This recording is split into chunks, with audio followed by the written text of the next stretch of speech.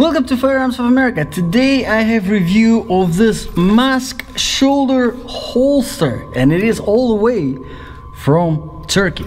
All right, this particular one is actually a vertical shoulder holster and as you can see it is for my 1911 fits absolutely beautifully. This is a 5 inch barrel and as you can see let's get straight into the features, right?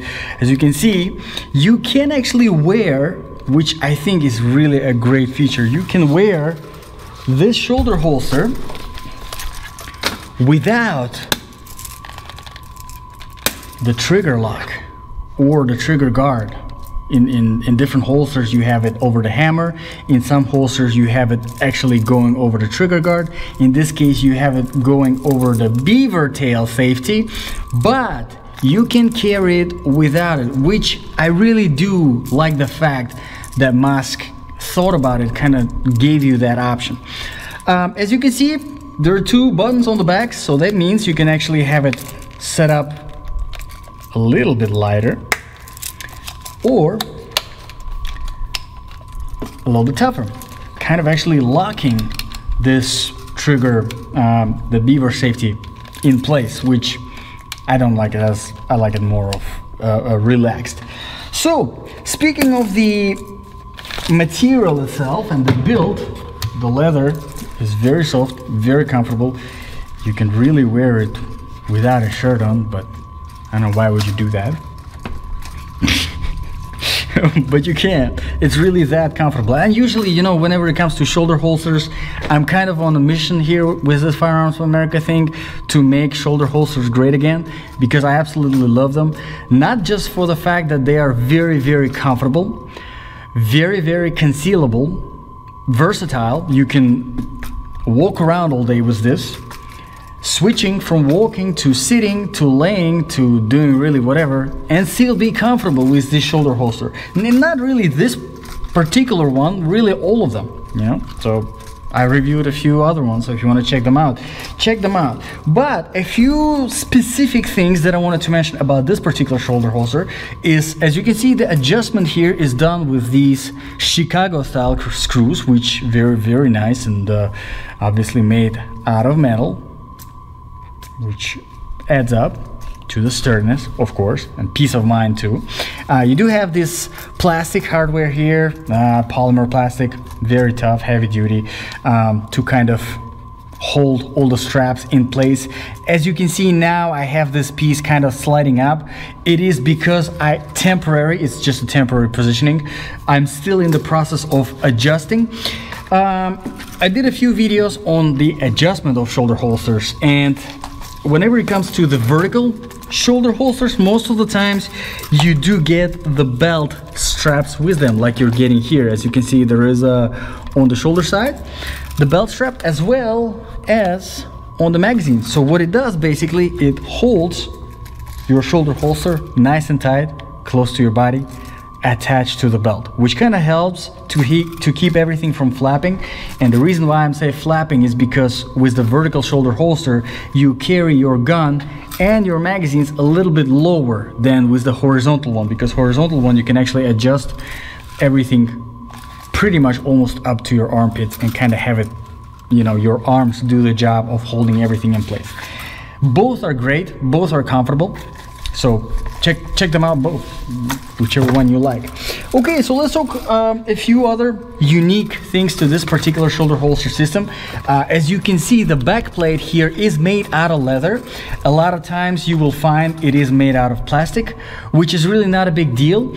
But because it is leather, it kind of is adds up to the softness and comfort because you don't have that plastic piece hanging around on the back. Now the magazine itself, double pouch, as you can see, and it can accommodate both the standard magazine, 1911 magazine, the shorter one, right?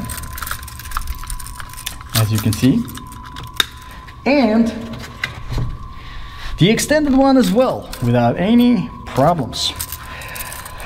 Uh, one thing that I really do like about this particular magazine pouch is that it has the adjustable tension screws. So what it means is you can have the tension adjusted yeah, for these magazines.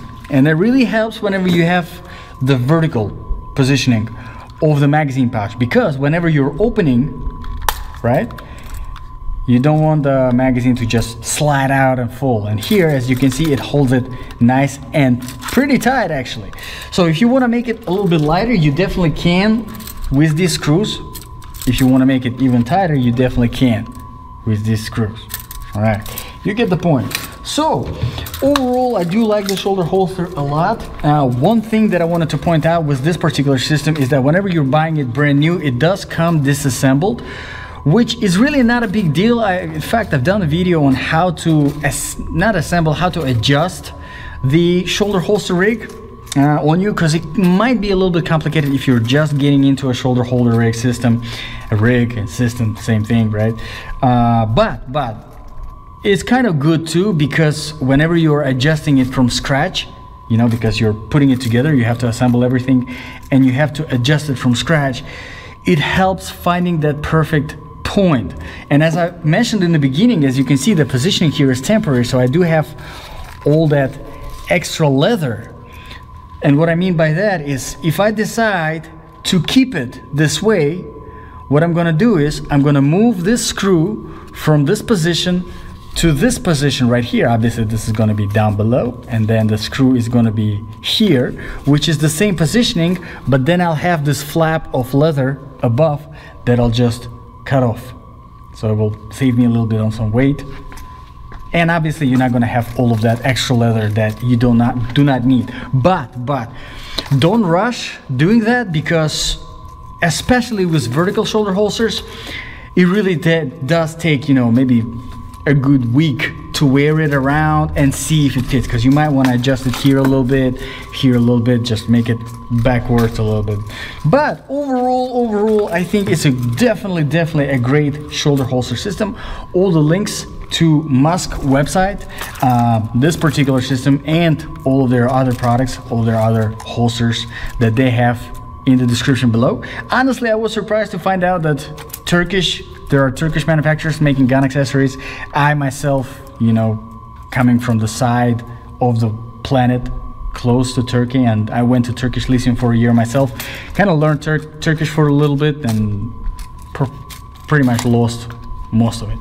And uh, to me, it seemed like they are mm, kind of similar to back the government where I grew up, was born and raised which is a very anti-gun government. There are no businesses, there are no manufacturers that do stuff like that. Kind of thought that Turkey is the same way, but it was really nice surprise to find them. And uh, wanted to point out that this was actually recommended to, to me by one of you guys. So thank you very much for recommending me brand new business uh, Masc. And, and thanks to you guys, I was able to bring their products on this channel. So if you have any recommendations, as you can see, I definitely pay attention to them. I listen to them. Uh, if you have any recommendations, let me know in the comments below. And I, you know, if you have any requests, I always put those on my special to-do list. Thank you very much, guys, for watching. This was a review of this Masc shoulder holster system. I'll see you guys in the next video.